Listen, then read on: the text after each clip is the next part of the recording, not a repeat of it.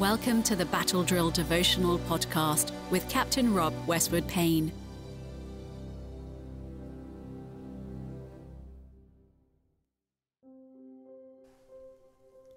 Today is Friday, the 11th of October.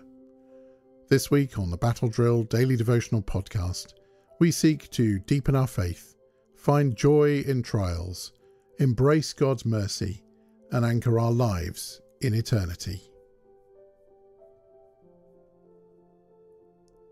Our two scripture readings today can be found in 1 Peter chapter 1 and verses 6 to 7 and Romans chapter 5 verses 3 to 5.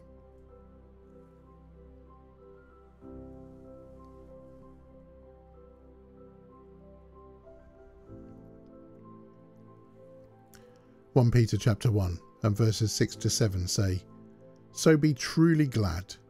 There is wonderful joy ahead even though you must endure many trials for a little while. These trials will show that your faith is genuine. It is being tested as fire tests and purifies gold, though your faith is far more precious than mere gold. So when your faith remains strong through many trials, it will bring you much praise and glory and honour on the day when Jesus Christ is revealed to the whole world. And Romans chapter 5 and verses 3 to 5 say, We can rejoice too when we run into problems and trials, for we know that they help us develop endurance. And endurance develops strength of character, and character strengthens our confident hope of salvation. And this hope will not lead to disappointment, for we know how dearly God loves us, because He has given us the Holy Spirit to fill our hearts with His love. At first, they were called embedded menus. Then they received a new name hyperlinks. Without them, our research, writing, shopping, and studying would all slow to a crawl. How could we navigate our smartphones or PCs without them? How could we take advantage of touchscreens without them? How could we perform drag and drop without them? We'd be working through long and laborious menus instead. In today's reading, we find a theological hyperlink. It helps us navigate how we can get on in the real world without dissolving into despair.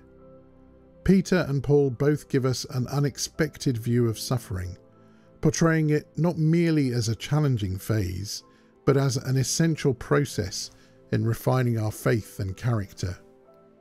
Peter encourages believers to rejoice in trials, knowing that these hardships reveal the genuineness of our faith. Paul echoes this sentiment in Romans by stating that suffering produces perseverance, which leads to character and ultimately hope. Think about a recent struggle you faced. It's natural to want to escape suffering, but what if we embraced it as a tool in God's hands? Reflect on how enduring this hardship has shaped you. Perhaps it made you more patient, empathetic, or reliant on God's strength instead of your own. Start by jotting down recent hardships you've encountered. Next to each one, note any positive changes that have emerged from the experience.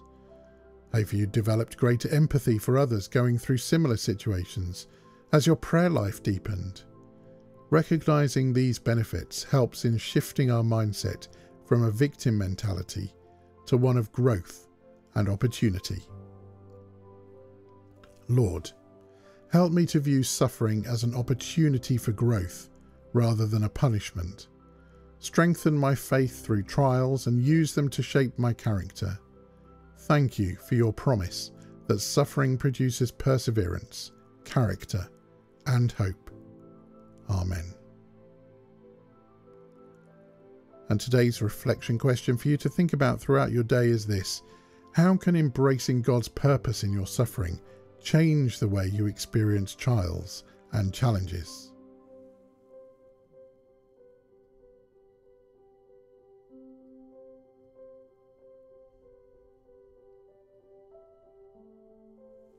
Please do join me again tomorrow for the last of this week's Battle Drill Daily Devotionals as we look at living as a community of hope.